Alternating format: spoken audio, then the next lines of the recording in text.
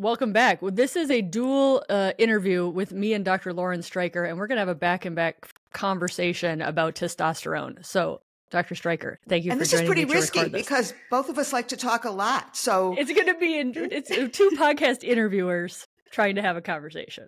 And we're going to release this on both of our podcasts and because we just need to finally have a hopefully nuance. We, we were talking before this, like it's hard to talk about testosterone in 180 characters. Like Instagram is not the place to educate people on testosterone. No, and which is why we get a lot of backlash on it because you say one little thing and then everybody jumps on it and says that's not true. And it's you know, things are apparently, always apparently Lauren has just informed me that people think I'm trying to get the entire world on testosterone. You have been accused like, of that, Dr. Casperson. Like, that's on them. I never, I've never, those words have never come out of my mouth. I do think that women should be educated. I do think we need more research. I do think I, we need I a product that can be appropriately dosed. You and I both agree that women are smart. They just need to be given the facts so that they can figure out what's right for them. And the truth is, is while you get accused of being the, you know, the testosterone uh, queen, and I don't have that title yet, but I honestly think I am guessing that we are going to be in agreement on more things than not, if not everything. I mean, we both agree. We both agree. Testosterone is a human hormone, right? We're, we're, Testosterone's a human hormone. Did yes. you did you learn that in medical school? I didn't learn anything in medical school. it's amazing. When I first started my residency in OBGYN, I look back and it's astonishing what I didn't know and that I didn't kill women right and left. And that's because I had people who were watching every single thing that I did, but I really knew very little. But forget medical school. I didn't learn this stuff in residency when we're yeah. really supposed to be learning. And I didn't learn anything about menopause. I certainly didn't learn anything about testosterone. When I first started learning testosterone, interestingly, was there was a product called Libigel, which um, was going for FDA approval. Testosterone, of course, is not FDA approved for women. And they tried very hard to get it approved. So there were clinical trials going on, the Libigel trials. And at that time, I was already attending and I was asked to participate in the Libigel trials. And I said, sure. And I'm thinking, I don't know anything about testosterone. So that's when I first started to read about it and learn about it and know something about it.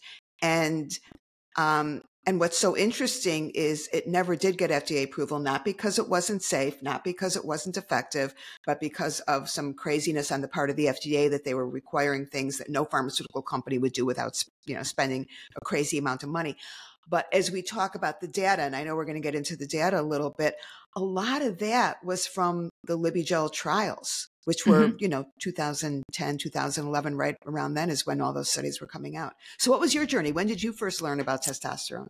Um, so I'm a urologist. Well, you're a urologist, right? So, so you like were, so, breathe so to, testosterone. Yeah, to me, I'm like testosterone. It does not scare me, right? Because I think so many people because they don't know about it. They're like, it's probably scary. It's got a class three FDA schedule on it to which so does ketamine and so does co- codeine with Tylenol. So it must be unsafe, right? And I think it really gets this bad rap because of abuse of synthetic anabolic steroids that happens in sport. But that's not exactly. what that's what not what right. most people take this for. Well, you know, the other thing also in terms of terminology, you and I and most menopause experts, of course, use the term hormone therapy, not hormone replacement therapy. And the reason for that is, is that we're not trying to give higher than normal doses. We're not trying to even necessarily replace exactly what someone was making in terms of hormones.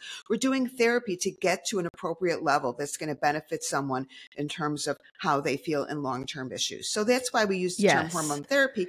And I think that's also really appropriate when we talk about testosterone because yeah. there isn't a specific level that we're headed for. We're looking for specific goals, right? Yep. And I think, you know, what I try to say a lot, I think because of the stigma of testosterone, is I like to say physiologic dosing, physiologic yeah. dosing, right. which which people will interpret to be like, what level should I be at? And yeah. the guidelines say, how do you feel? Right? Do you feel like it's benefiting you without having side effects. How do you because, feel without getting into trouble without side effects? Exactly. And we can talk about that and, and why it's gotten a bad rap and what happens when people give too much. But I think we are absolutely in agreement that, um, you know, that that women benefit from taking testosterone, and, and some women benefit more than others. And, yeah, there's, and I think at the top of my list, and I want to hear who who you most benefit, think most benefits. But I look at women who've had ovary removal because when we look at where testosterone is made, of course, most of it's made in the adrenal glands. Almost half of it's made in the ovaries. And even the postmenopause ovary continues to pump out some, not as much as it used to. You know, the levels go down. But postmenopause women are still making testosterone. But if they've had their ovaries removed, their levels are a whole lot lower and they're generally going to benefit more. What do you think? Yeah. And what's so crazy about that is if you look at data, these are old studies, 1985, 1987. Like mm-hmm. this is not groundbreaking work of people saying, when we take their ovaries out, let's give them estrogen and testosterone. Yeah. They did that. They published the data. They said they do well and now it's like we're having this brand new yeah. conversation again. Right. It's like well, it's like the Iron Curtain came yeah. down with the WHI, and like we forgot we've actually done a lot of this research already. And and the work has been done, and quite frankly, a lot of that was done in the Libigel trials, and the women who were enrolled in Libigel were women who'd had a surgical menopause. That was one of the criteria is they wanted to get a group of women who truly were testosterone deficient. Yeah, and the testosterone that was approved in the, in Europe that is now off the market, that was approval only for surgical menopause women. Yeah. And, and, one of the arguments was like, listen, it didn't sell because there's just not that many women. I mean, there's still a lot of women who've had their ovaries removed, but it's a small part of the population. And if that drug was only for them, because they didn't say it was for all postmenopausal, it didn't do well and then it, it went away. Correct, correct. Well, let's, okay. What I'd like to know is if we are in agreement in terms of what goals we have when we recommend testosterone for someone and in what situations you think it's appropriate. Because for, I, you've been talking about it a lot more on your podcast than, than I have. I have a testosterone um, episode from season one, but I haven't really been focusing on it. So just to get my folks up to speed, um, when when most people are talking about testosterone replacement, the kind of you know, straight academic, they are talking about it to improve libido because the, the Libigel trials were specifically about treating women with low libido who wanted to make it better.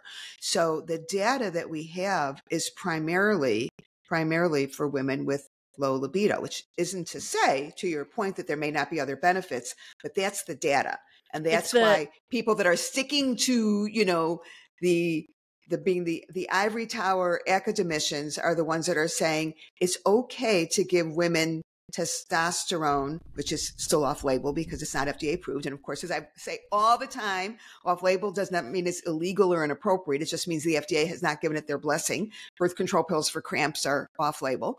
Um, so, but, birth but, control you know, for skin for acne is off label. It's off label. Birth control pills to regulate your cycles is off label. The only thing birth control pills are on label for is to prevent pregnancy. So, just we can take the off label thing is not a problem. And eighty percent of women at some point in their life have been on a birth control pill. That's right, and thirty percent of them are taking it for something other than contraception. we so, digress.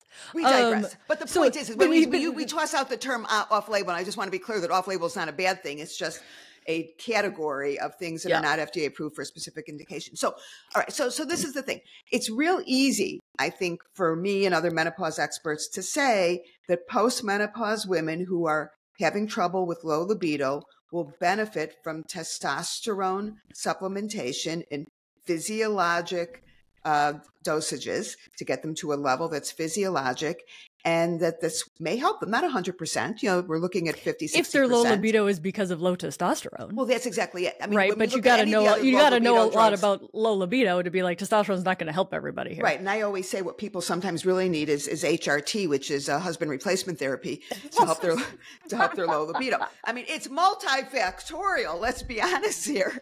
So, but the point, but you know, no, I think it's important though, because when we say testosterone isn't going to work for everybody for low libido, of course it's not. Nothing's going to work right. for everybody everybody. Right. Which is why know? people I think hate on like the testosterone, but but yeah, estrogen works great. Um not working 22 hours a day is yeah. good for your libido. Like their libido is so complex that right. to put the weight of libido on one hormone is incredibly ugh, insulting to yeah. to how complex humans are. But I mean, okay, so, go, right, so, I want, right, so I want you to start with talking about. So I've said, okay, libido. Why don't you kind of give your laundry list of if a patient were to come to you and say, My libido's fine. I have no problem with libido. Am I a candidate for testosterone? What's it going to do for me? What would you tell that yeah. woman? Well, for I mean, for two things. Number one, do people are like, do you think everybody? Do I need testosterone? People ask that on Instagram. Do I need testosterone? No, nobody, nobody needs this. You're probably not going to die sooner. Like nobody needs it, but it can be helpful, and I like to clarify that. Number two, I think this is a case of the tail wagging the dog, for lack of a better metaphor. Help me out. But people are like, it's only, it's we only have approval, and we have the most studies for low libido. Yes. Why? Because the FDA said when we approve this, we're going to approve it for low libido. The money follows what the regulation says they're going to do it for. So until the FDA says we want to look at this for hypogonadism, which is what it's approved for in men, which yeah. I think is true get gender equality. Let's get it for hypogonadism for all genders you're going to have more studies on low libido when the FDA is like, that's what we're going to approve it for if we're going to approve it for anything. Right. So and it's, a, it's a very point, circular you know, argument. What, what people don't realize is to get FDA approval costs an average of, you know, what, $100 million in 12 to 15 years to get your drug to the drugstore, and most of them don't even make it. So the more focused somebody is, the more likely it is to be approved. That's why most of these drugs are just for one very specific indication. Ozempic, they know for example, get prescribed for other indications. They just need to get it out there. Ozempic is not FDA approved for weight loss. No, right? Like right. It's used off label for that. Right. But they needed a smaller niche. So they needed to be in diabetics with weight equaling blah, blah, blah. Like they had to be very narrow and then you right. expand it. But for people to argue that the only indication is for low libido, this is the best, this is the easiest way I've got. Where's libido? Libido's in the brain. Oh, okay. So testosterone works on the brain. Yes, testosterone works on the brain. Okay. One little teeny spot in the brain? No, the brain. Right. And we have data on that. We have data in men. We can use data in men. We are similar beings. Right. And it's like the cognitive changes. And Lauren, you know this. You give a woman testosterone, she'll come back. She might say my libido's better or it's not. And then she'll say, but I feel and she better. will tell you what feels better. Yeah. I had a woman last week, and I know I know this is anecdotal, but it's it, it, you can't study some things. It's very hard to study feeling more like myself. It's a very hard thing to study. This woman said, "You know that part in The Wizard of Oz where you go from black and white to technicolor?" She's like, that's what my brain does on this. And she's like, so I stopped it to see if I was just maybe making that up. My world went into black and white again. And no, she doesn't have vision problems. It's her brain using this testosterone. She's like, the world is interesting again. Yeah. And it's like, how are you going to get, you're not going to get an FDA also, approval for the world is interesting. And right. They talk about all these quality of life tests and all that. But if I don't know if you've ever looked at the questions on there, but they're kind of silly, I think.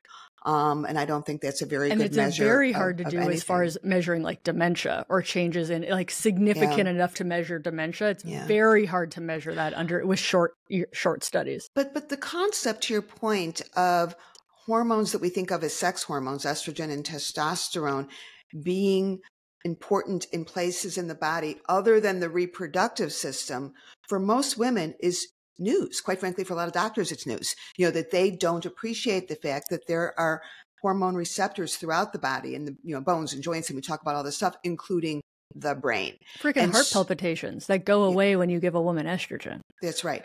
And and so much of what we're really studying now and learning about now, I mean, it seems like every day a new article is talking about the impact of estrogen on fill in the blank. You know, I did a podcast episode on estrogen and dry mouth, and I thought, how many people can this be? It went off the charts, you know, because yes. there are estrogen receptors in the salivary glands, and the, actually, the inside of the mouth is a lot like the inside of the vagina. Just saying, it really is. Um, yep. But but but that's the point: is that we're still learning so much. And all right, so uh, we, we got to wait for what I want like, to ask. It, so let's talk about what are the kinds of things other than a general sense of well-being i feel like myself i feel good i feel energetic. Give me the specific kind of go down your list of what you tell women the specific benefits are potentially of taking testosterone.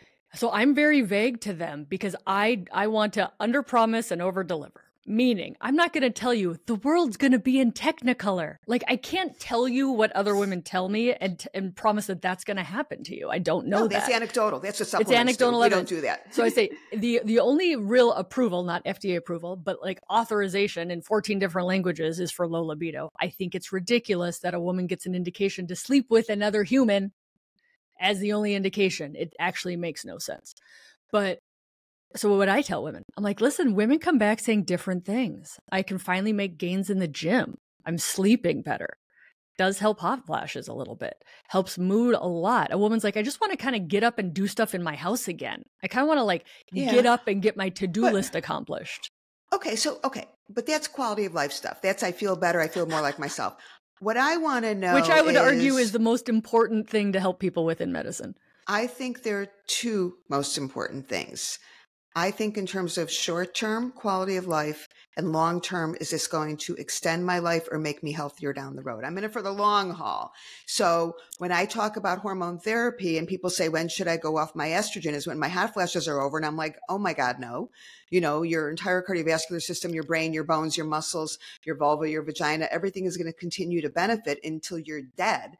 So therefore you stay on until you're dead. So what I want to know from you, Dr. Casperson, is if someone says, you know, I'm feeling terrific, I am fine, I want to know is testosterone going to help my bones, my brain, my muscles, all of that that's going to help me live a longer, healthier life?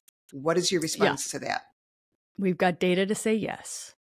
And this is where, you know, I, I, I hesitate to be pigeonholed into the person who tells everybody to be on testosterone, right? Because people no, get but, pissy but, about that. But it's no, like no, but let me interrupt you one second. We both agree, and we have data that shows we have data that, that estrogen, shows that estrogen is going to help in terms of cardiovascular health and brain health and cognitive function. We could go through all that.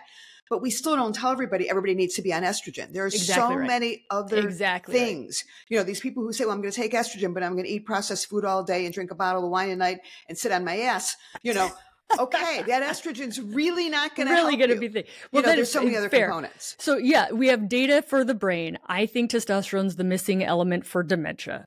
Like I will go that far. We've got the data in men. We've got the data in frailty. We have a, a, new paper got published looking at phosphorylation of the tau protein, specifically in women who have the APOE4 allele for Alzheimer's disease. Right? Like we have preliminary data. Okay, but we have this. that same data for estrogen. Looking at the tau Our protein. bodies are complex. We might need more than one hormone. No, no, but I'm just saying. My my point is, is we have that data that shows that there's not as many tau tangles in women who mm-hmm. take estrogen as opposed to women who don't. Have you ever heard any doctor talk about that other than you know? The little group of, you know what I'm saying? But so we already have that data for estrogen and it's not an indication for estrogen. And, and then we're saying, okay, so testosterone is potentially we don't we don't have the longitudinal data you know this the placebo controlled trial that we give a thousand women testosterone and a thousand women placebo and we watch them for 50 years and then say you know less women got alzheimer's. That's the data that the purists are waiting for. They want uh, they want women we don't have the, and, the gen x women who are seeing their parents age will not wait for this data to happen yeah. It's a bit, the, the WHI was a billion dollar study. And we know the good and the bad that came from that and how long that took and that we're yeah. still digesting it. Who's holding their breath for the next $2 billion it's study? Not gonna happen. It's not it going to happen. happen. It will not happen. No, I know it will not happen. Okay, let me ask you this because I, I rarely ask questions that I don't know the answer to because that's what always a good podcast host does, right? But I don't know the answer to this one, and you will. What is it FDA approved for in men other than hypogonadism? Hypogonadism. That's it? Mm-hmm. Like there's no specific other things? Like, you know, that's it? Yes. Oh, okay. It's used off label for libido. It's used off. it's not FDA approved for men for, libido. Okay, well, that's good. So I did know the answer to that, and I thought I didn't. It's not, unless I'm wrong, but it's it's. No, you're never it's wrong. Um, oh, that's so that's so nice coming from you. um, but yeah, I mean, we use we use testosterone off label in men all the time. And, and, that's the other question: Are we gatekeeping differently between genders? I see that a lot more. In, oh well, come on, because you know I've done how many episodes on the orgasm gap between men and women. You know, it's not just the orgasm, which isn't gap. getting it's, better, it's, by the way. No, it's not. Uh, Laurie Mintz, uh, she just you know, um, testosterone helps orgasm. Have you noticed? Yeah, well, sure, because it's those afferent pathways. I mean, look, we, there's testosterone receptors nice throughout the lower third of the vagina, the vulva, the clitoris. We know that. Yeah. We know that. But, uh, but we've got we've got we people. Also, let's okay, go well, for something that's big. Let's go with let's go with osteoporosis and hip fracture. We've got some studies showing that estrogen plus testosterone has better bone markers than estrogen alone. Yeah. So, you know, we've got uh, I think, you know, people's pro I'm going to I'm going to uh, speak for other people. People's problem with me my well my my problem is people saying we have no data. And and what I do is I dig up the data we do have and say, let's work with what we have. I'm not saying yeah. anything that I haven't seen published somewhere or at, in the bare minimum is anecdotally coming back to my clinic, right? When, when women reporting this. But when people say we have no data, they're just massively not curious because I've read most of this stuff. Well, I think the, the problem but I'm a nerd. no data. No, no, I, yeah, I know you are, and that's why I love you. But the, the problem with having no data is that eh, I feel like we have an obligation to say, I don't like if someone says, let's talk about safety for a minute, and then we're going to go back to what it does for you. Because we think in terms of safety for testosterone. Oh, I love the safety testosterone discussion. So we the safety issue, I think for me is very, very clear cut. We have excellent 12 month data that shows that testosterone in appropriate levels is safe. And I have no reason to think it's not safe long term. But if you were to say, do we have 30 year data, 40 year data? We do not. We yes, don't have we that do. for estrogen either. Yes, well, we then do. you have to point me that direction. In women, in women, not men. Yes, we do. Who? Okay, tell me. Educate okay, you ready? Are you ready? I'm ready. I'm ready. Got my notepad out. Dr. Abdul Traish, PhD, published a study. I can send it to you. So let me set the stage. What if we take a drug and we ask people, "Are you willing to take this drug?" But I want to I want to give it to you at 10 times the dose. Have we ever done that with any drug? And then these people are like, "Yes, and I want to keep taking it. And I want to keep taking it for 30 years willingly." Okay, but it's 10 times the dose. No, I want to keep doing that. All right. So we've let those people keep taking 10 times the dose of the drug for 30 years and we watched them and they don't have increased risk of cancer and they don't have increased risk of heart disease and they don't have increased risk of blood clot. Who are those people? Trans men. You know, that's yes, I have heard you now that you say that. And but it's interesting. But the other thing also is um, little known fact about me before I became interested in menopause. My area of interest was minimally invasive surgery, hysterectomy, and alternatives to hysterectomy. And I was the queen and one of the first in Chicago to do outpatient laparoscopic hysterectomy. And who found their way to me? Trans men. Because men, people who are transitioning from female to male, and are taking high doses of testosterone for a variety of reasons want to get rid of their uterus. Mm-hmm. And in that time, it wasn't covered by insurance, of course. So they wanted it to be outpatient. And they found their way to me because, first of all, I was welcoming and my office and staff were welcoming. And we very quickly learned language and appropriateness and all that kind of stuff. But um, if you are doing a laparoscopic hysterectomy, you need to go through the vagina in order to just technically do uh, do what you need to do surgically. And in this population, you you really couldn't have access to the vagina. So I figured out a way to do it without vaginal access. I kind of jerry rigged something and I made something up, which is the fun of being a surgeon and being kind of creative and solving problems in the operating room. And word got out. So suddenly I was doing hysterectomies on so many trans guys. Um, and and the reason there were two reasons briefly to have their uterus out. One is because some were having reconstructive plastic surgery and they needed to get rid of their vagina and their uterus. But beyond that, it's because they were going to be taking long term testosterone. And testosterone one of the metabolic products of testosterone is estrogen. And if you take estrogen long term without a progestogen to counteract it, you have an increased risk of uterine cancer. So they all wanted to get rid of their uteruses so that they didn't have to worry about taking long term testosterone. So I'm going to counter you on we have this test in, in, in, in men who are taking testosterone for 30 years who are you know, genetically, biologically women, um, there's a difference between those that have a uterus and those that don't in terms of safety. And I think that that's something that we have to at least throw out there. That yeah, I mean, the data I've seen is, is on, you know, the data I've seen on female dose testosterone is that it's anti-proliferative to the endometrial lining. Correct. So that so now we're talking about ten times the but dose. We're talking about ten times that dose. But yeah. as far as breast cancer, heart disease, like significant stuff that pops up, it's not happening. That was and never the issue. It was I never the from, issue. Yeah, from yeah. my point of view, and I agree with you on that. And the, the other, also, it's also not the issue for estrogen you right. know and and people but also when we talk about the trans population and this is really a whole other topic but it's interesting so we'll just go with it for a little bit when you talk about the trans population they have a lot of different ways of taking testosterone whether it's injected or transdermal or even oral and like all hormones and like cannabis it depends on how you consume it you know in terms of the impact it's going to have on the body and how it's going to be like metabolized cannabis.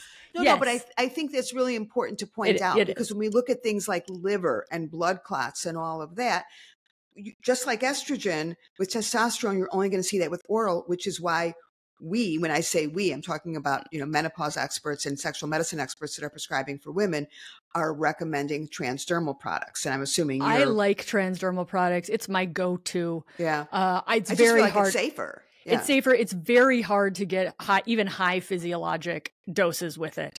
Yeah. Um, it's hard to get into trouble with it. Yeah. It's hard to get into trouble with it. Uh, one more thing that just got published, which I think is helpful because I think in this discussion, we always need to look how do we treat the men? How do we treat the trans men? How do we, what can we learn? right? Because we're so like the, the, thing with women is like we're so fucking afraid to do anything to them, right? But like we're we give people 10 times the doses and we give yeah. men right all this stuff. So new paper came out looking at trans women. Trans women frequently will have their testicles removed so that they don't have that high dose of testosterone right. in there. New paper came out saying, "Hey, maybe we should give these people female physiologic testosterone doses because turns out their bodies do better with a little bit of testosterone. Yeah. So it's an interesting example of being like, we take out the testicles, they have, uh, you know, the adrenal amount of, of testosterone. We give them estrogen. We thought that was going to be good enough. Turns out they benefit from that female physiologic yeah. dose testosterone also. Yeah.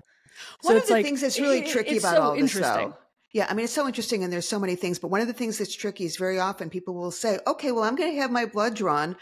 What level of testosterone do I need? And, and you know, Great you're question. smiling. I'm smiling because we know the lab suck. The level doesn't, well, first of all, the lab suck and it doesn't first necessarily all, correlate with and they don't the correlate. effect that you're going to have. So that it's not like thyroid medication that you say, this is the level that we want. This is what we're going for. And then we're all happy. You know, it's yeah. not like that with testosterone. It's it's complicated. We, do, we know that we don't want to go too high because we're going to get into trouble. But within that, there's a very, very wide range of where people are going to get benefits. I mean, think of think of what else we need to know. How many androgen receptors do you have? What's your affinity of your androgen receptor to the testosterone? Like, we can't measure any of that in you, which is why your blood level is going to be different. The other thing we know about testosterone, and if anybody, yeah, it's just like when you know so much about a topic, it's so fun. Your serum testosterone level does, even if the lab is good and accurate, which that's questionable, does not even correlate to the amount of testosterone that's circulating in your brain right? right? So the serum test is actually a very blunt tool to say what's actually going on in your end organs. But like, you know, I volunteered in Africa and like they got an x-ray machine at this clinic. Everybody just wanted a freaking x-ray right? And then the doctor's like, you don't need an X-ray for everything, and people are like, but I just you have an X-ray machine, let's get an X-ray, and that's how I kind of feel about these testosterone labs. Is like, yes, it's so get funny because when I volunteered in in, in uh, Africa clinic, it was the ultrasound machine. Every pregnant woman wanted an ultrasound like every five minutes, right? And so like that's how I feel with labs. Is like, what lab should I be at? What's the optimal lab? And if you notice, on my Instagram, I never say what I think the optimal testosterone lab's going to yeah. be because yeah. the people are going to hone in on that. And it's way more nuanced than that. I think you should get one at baseline to make sure you don't have a person with high testosterone in perimenopause or menopause. I haven't found that person yet, but I'm I'm looking.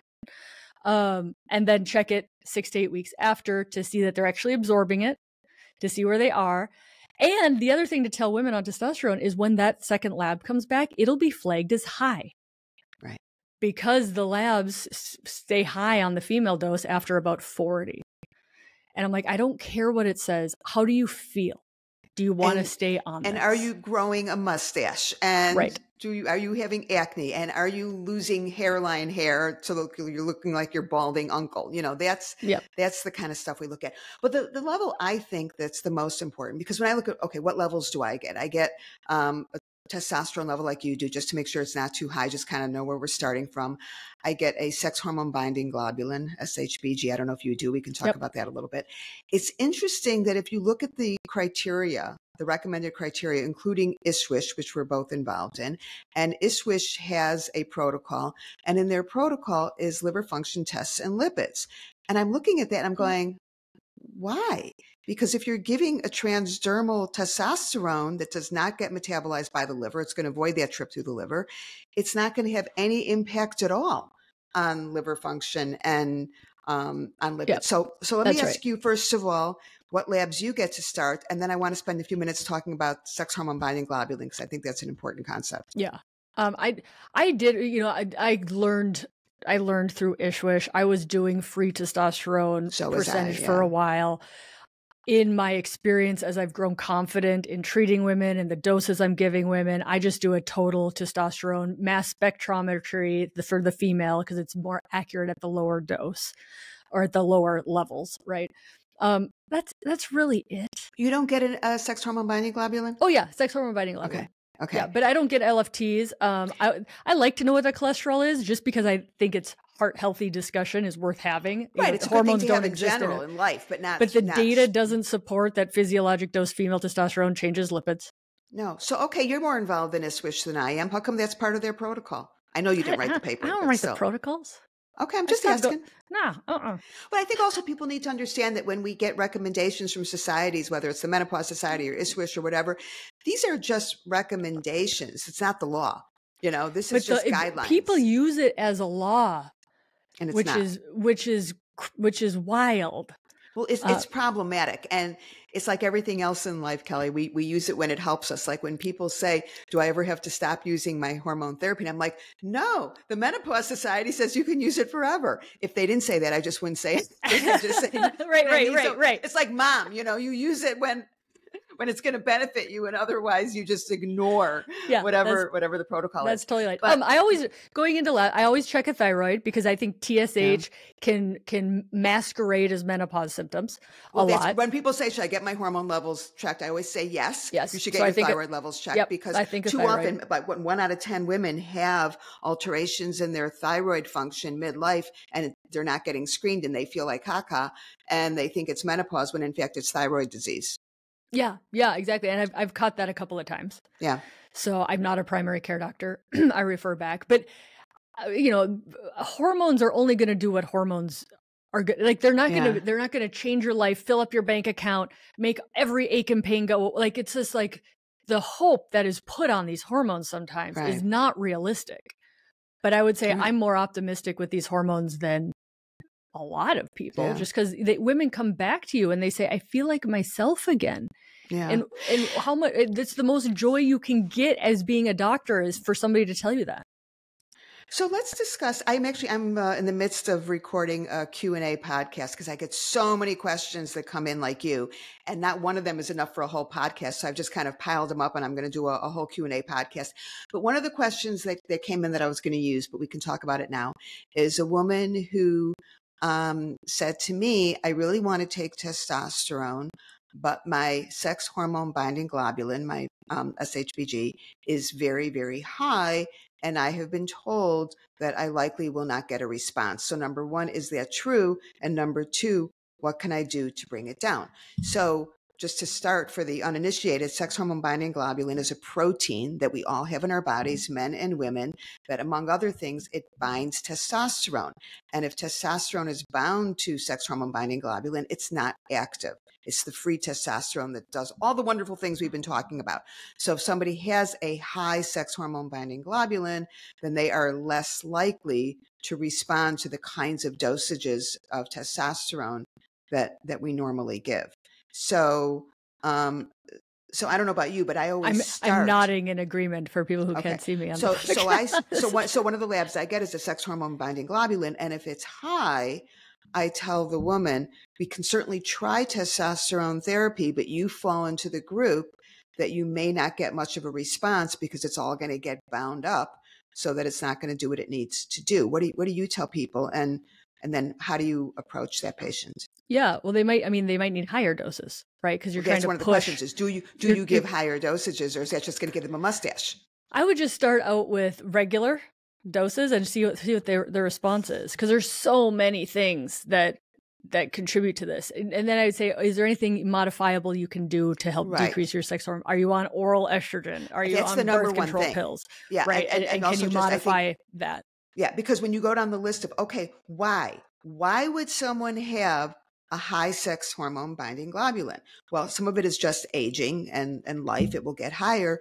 But I think one of the number one things that we see in the postmenopause population is if someone is taking estrogen orally, not transdermally or vaginal or anything else, but if someone is taking oral estrogen, just like birth control pills, and that's true for perimenopause women, it's going to shoot, it's going to shoot uh, your SHBG high and so sometimes just switching someone to a transdermal estrogen product is going to make the difference.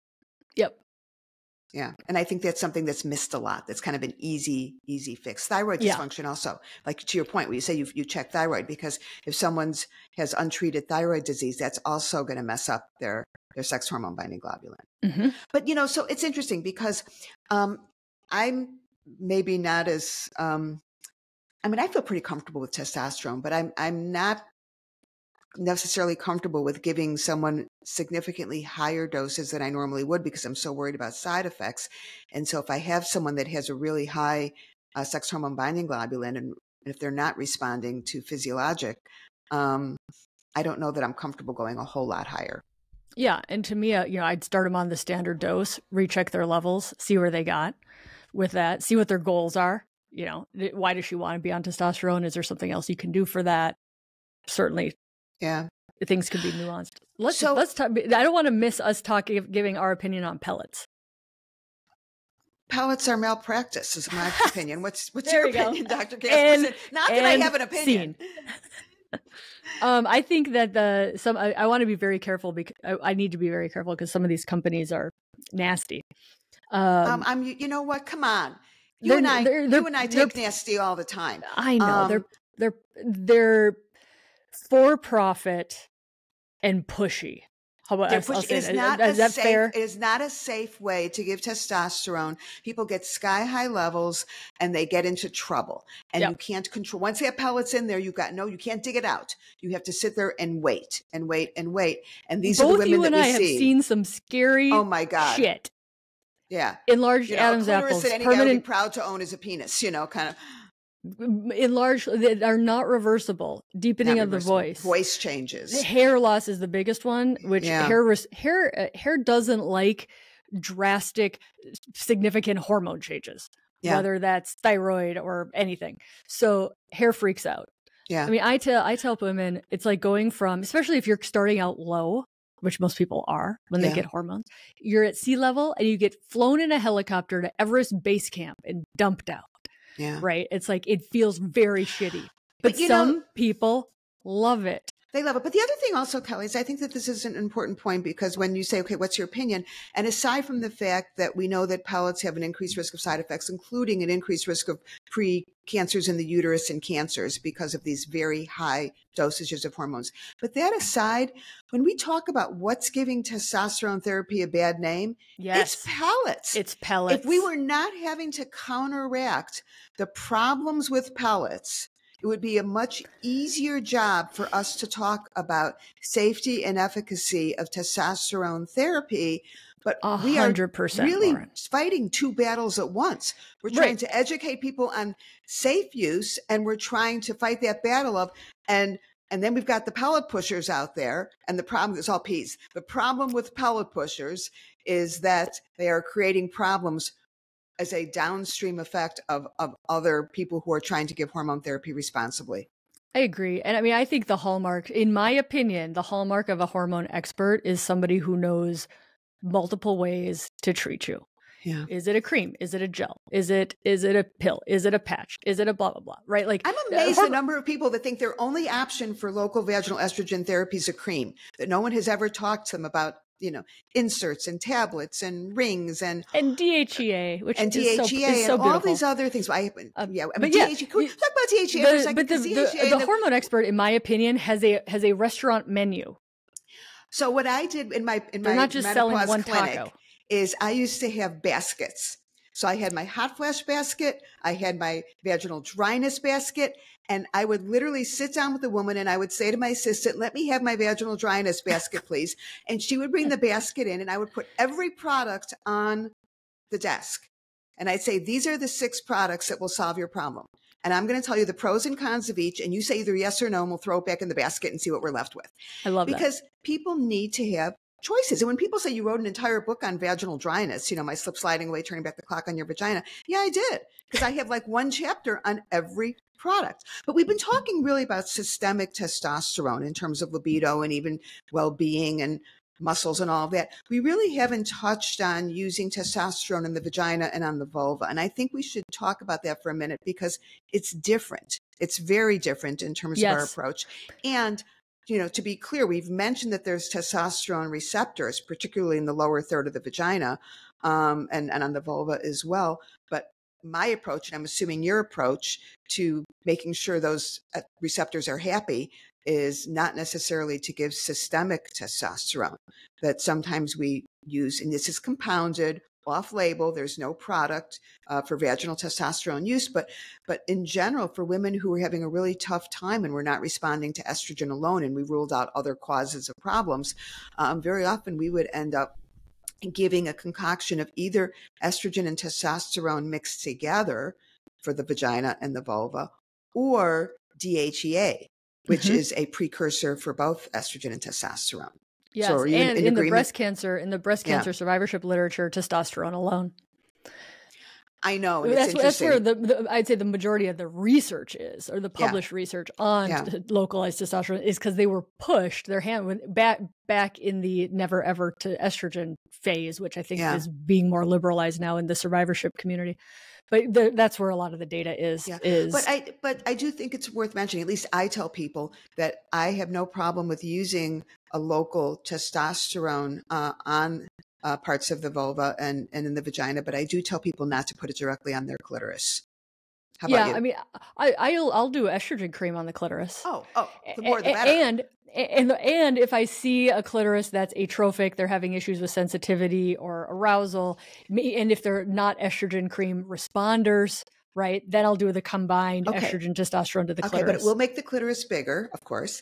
Which is I what wanna... we're going for when okay, it's a, when it's an atrophic quote, clitoris. I am going to quote a good friend of both of us, Dr. Rachel Rubin, who says that a big clitoris is not more sensitive than a small clitoris because the biggest clitoris, of course, is a penis.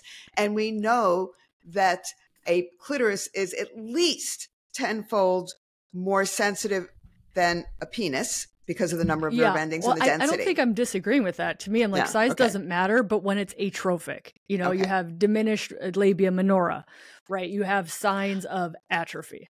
Right. That's where and, I'm not just trying to get you a bigger clitoris. I'd shoot right, right, you up with five pellets if I wanted to do that. But you do have to be careful with that. Is my point. Well, is, here, this is interesting, which I see a lot on social media. It's not in my community. Is going if you go back to male testosterone. Some of the earlier male testosterone products, they had a patch and a gel, I believe, were applied to the scrotum.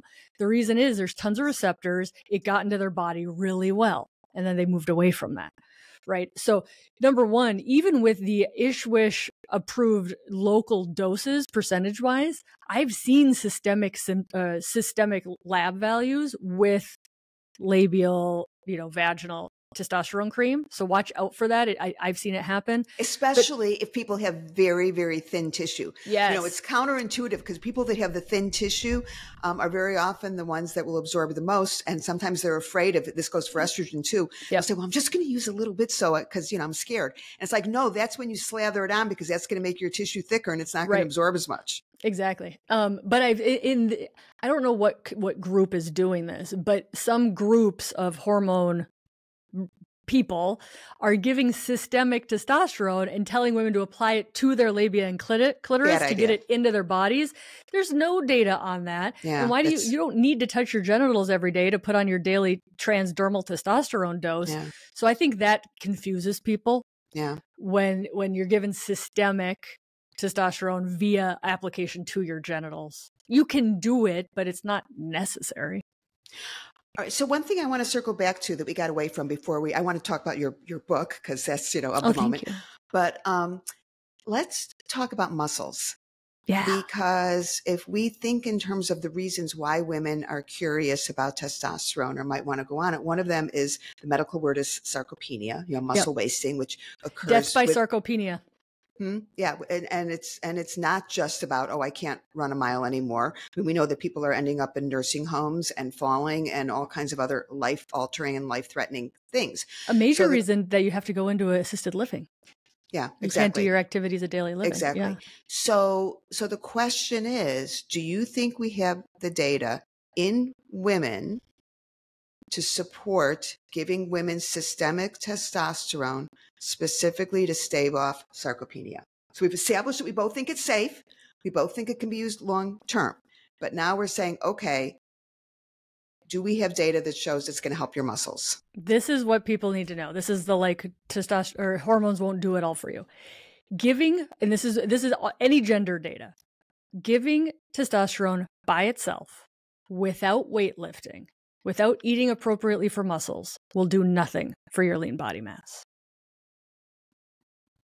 You have to lift weights. You have to lift. You have to eat appropriately, especially the Gen Xers. We're trained to starve ourselves. yeah. No, you Right. have to, you have We to don't move. eat for muscles. We don't lift for muscles. So, do I think giving women testosterone to stave off sarcopenia is going to work? Absolutely not.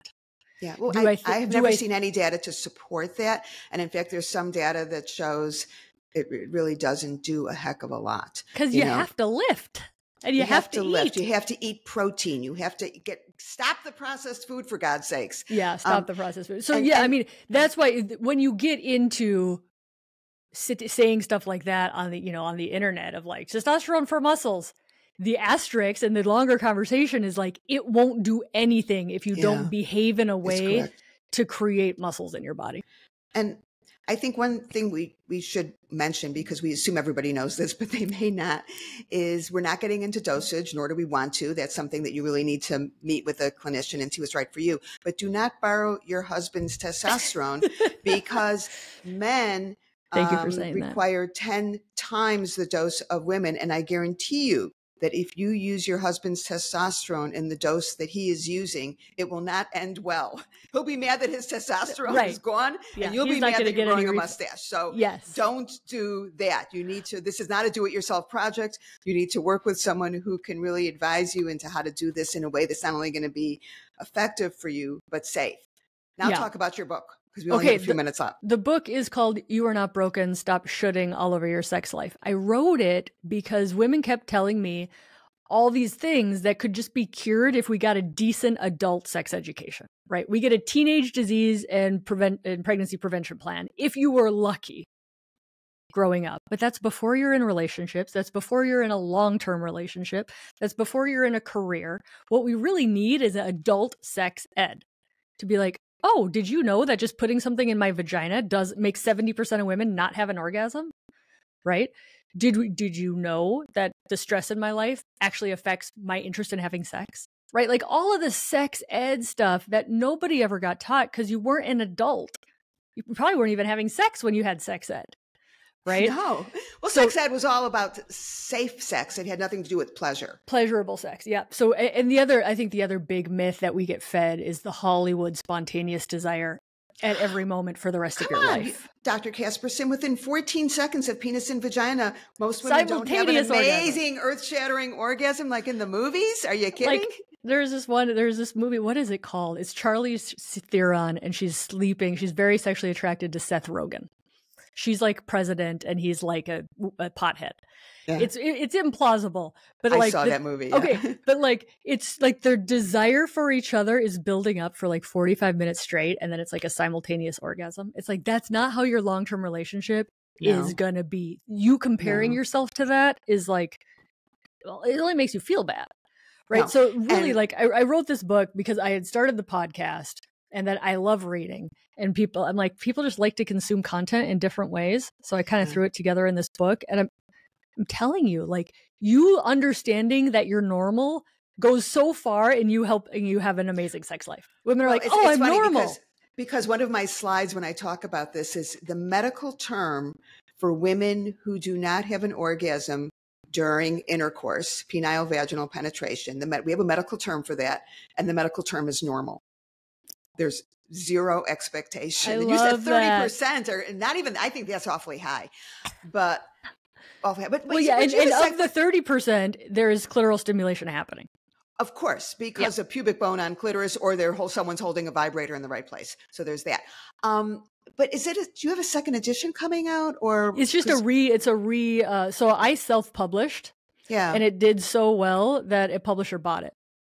I so- see. I- so now I it's thought it- going- I thought it was maybe an updated. Um, The only thing that's update, I'll, I will give props to her because it's the only thing that I was like, this needs to be updated. Is when I wrote the book initially, we didn't know how many nerve endings were in the female clitoris except for the and cow studies. thousand, not seven thousand. Yeah. And so I put Maria uh, Maria Uloko and Blair Peters' paper in there because Yeah. now we actually know.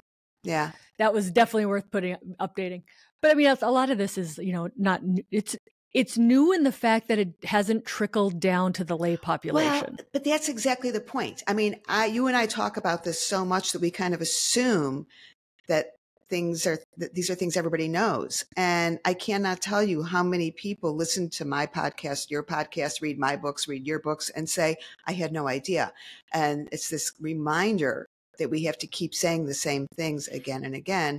But also throw some new things out there for the people who do know. So I think Right, that's right. that's what we Yeah, look I at know, like- role. like the I read the true definition of the an expert is somebody who doesn't get bored by saying the same stuff over and over again. But it's like, you know, for me on the testosterone and Instagram, it's like to start the conversation.